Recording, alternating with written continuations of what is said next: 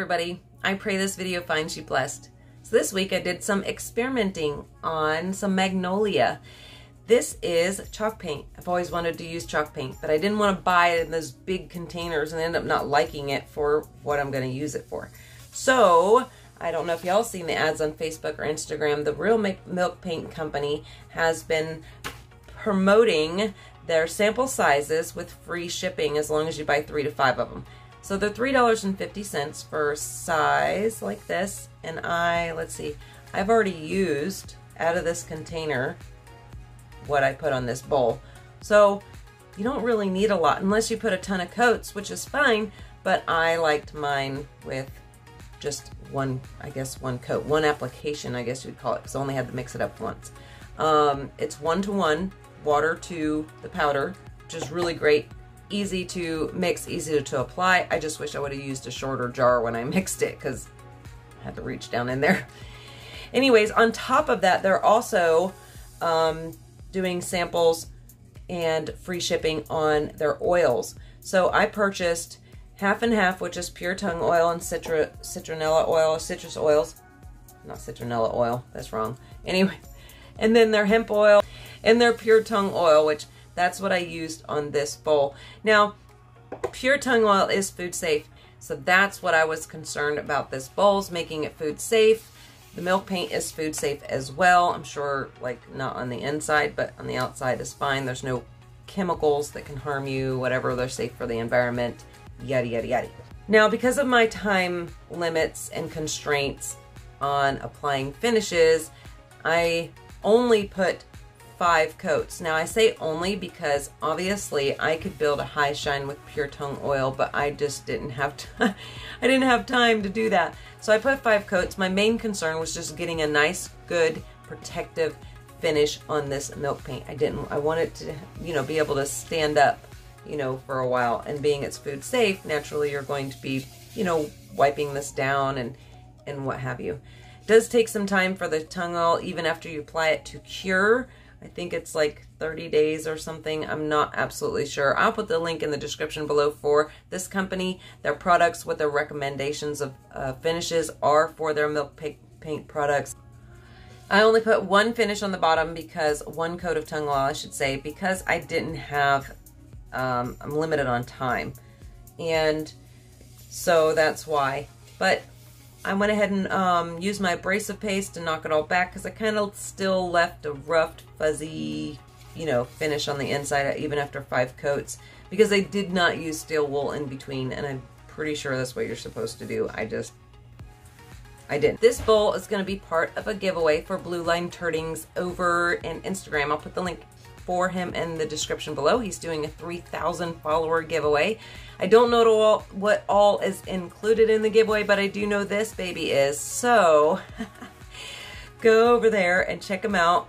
Follow him and then keep out keep a lookout for what you have to do in order to enter to win for the giveaway.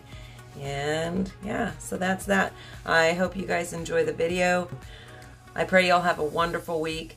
Take care and God bless.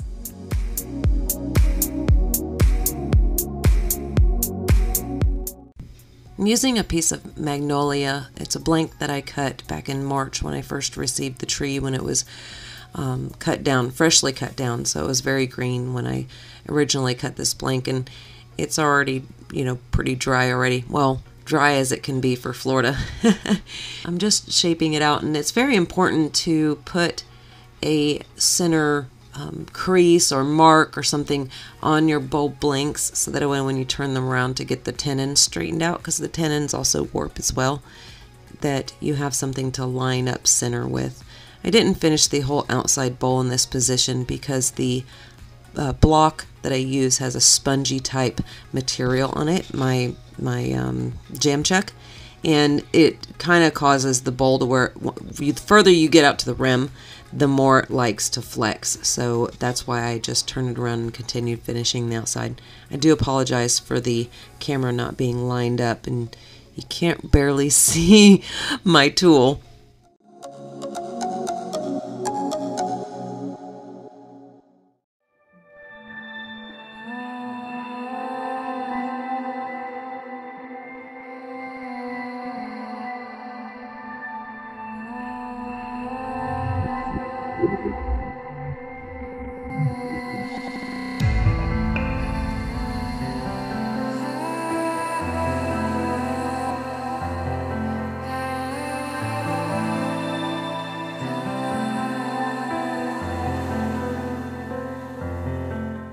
Always like to try to remove um, the rim material first and get it established before moving on because most woods, whether it's dry or wet, it will flex. You know, the rim is, is no longer being supported by material. So that's why you see um, using the scraper and kind of getting that all established before I take more out of the center because the less that that's supported, the more it's going to want to move on you. Like I said, regardless to whether it's wet or if it's dry.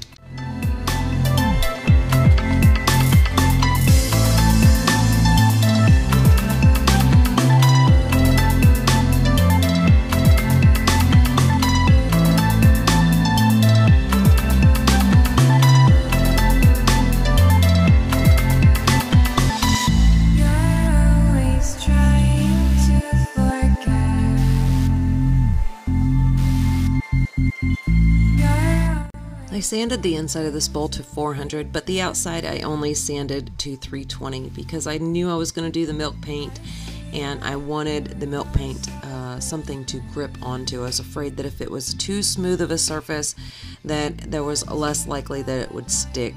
Now that could or could not be the case um, or necessary, but that's my thought process.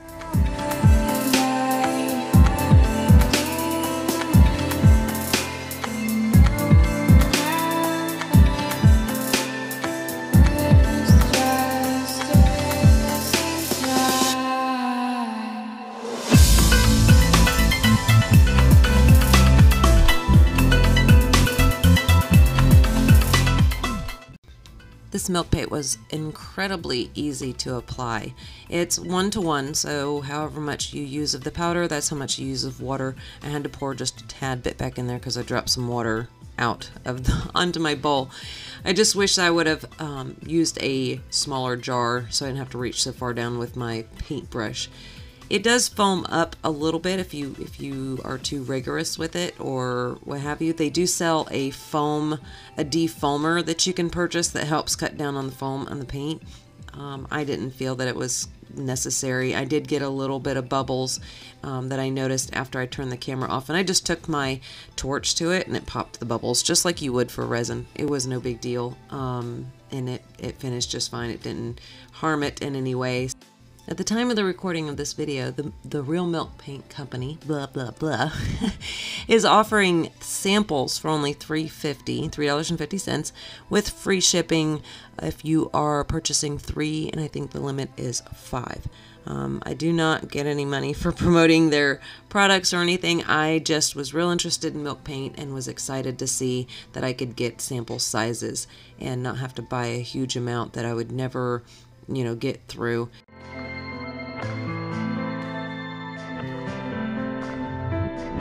I'm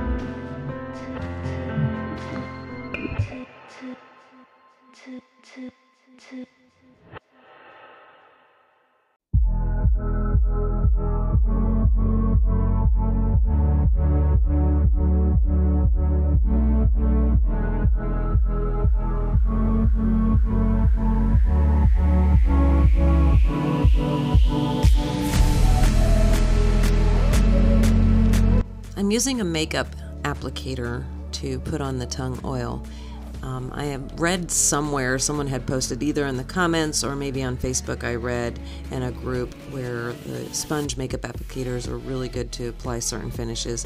Couldn't remember which finish they were talking about, but I figured I might as well try it with this one. It did seem to work really well and didn't leave any lines or streaks that you would normally get, but of course I did not put more than five coats on this bowl. So I don't know if I would have had streaks after I started being able to see the build of the finish. Um, like I said in the beginning, my time limitations made it to where I could not apply more than five finishes, or five coats, I'm sorry. I had to come out and wait 24 hours. I did not sand in between because the the tung oil was soaking up into the um, the bowl.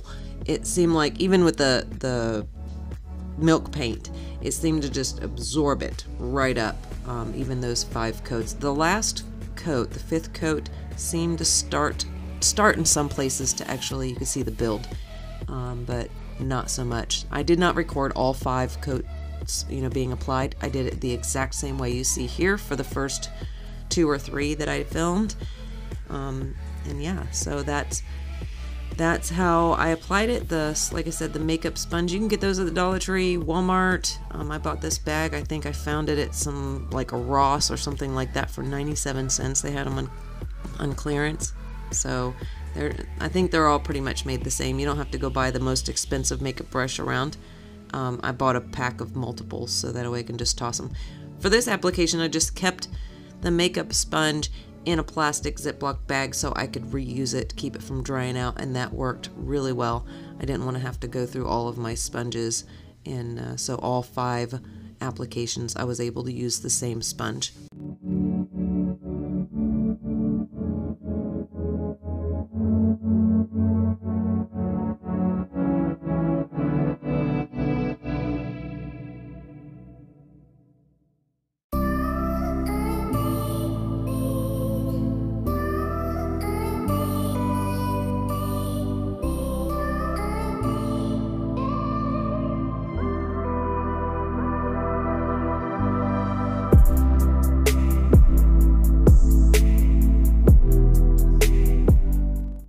Use my old worn out scoring pad to apply my abrasive paste. I purchased these from Rookie Abrasives. All of my sandpapers and stuff I purchased through there. They also sell these scoring pads with the hook and loop on the back. And once they get worn out, um, I just, or, or clogged up, I use them to apply my abrasive paste. Um, some might argue and say that that's not a good idea, but it's easier on my wrists, and I feel that um, I get a lot of success with my finishes. Uh, even with that on there, I'm able to get a lot of even the finer scratches out really well. So that's what I'm using on the end of my drill for applying my abrasive paste.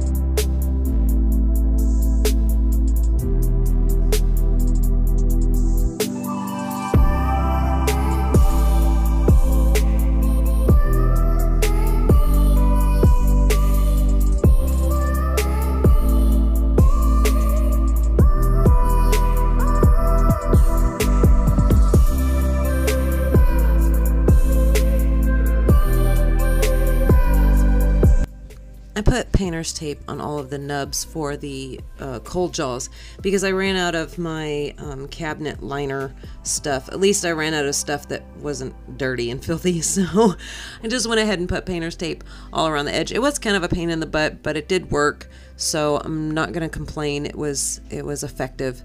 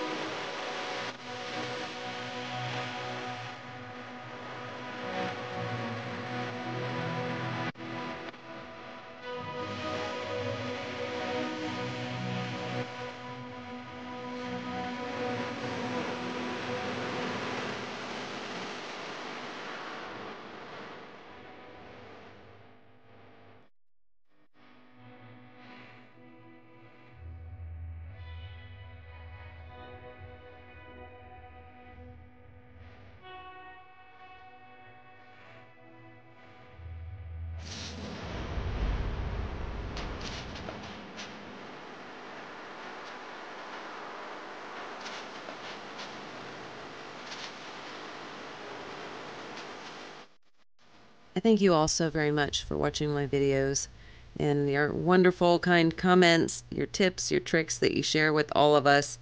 I just uh, pray y'all have a wonderful weekend. Take care and God bless.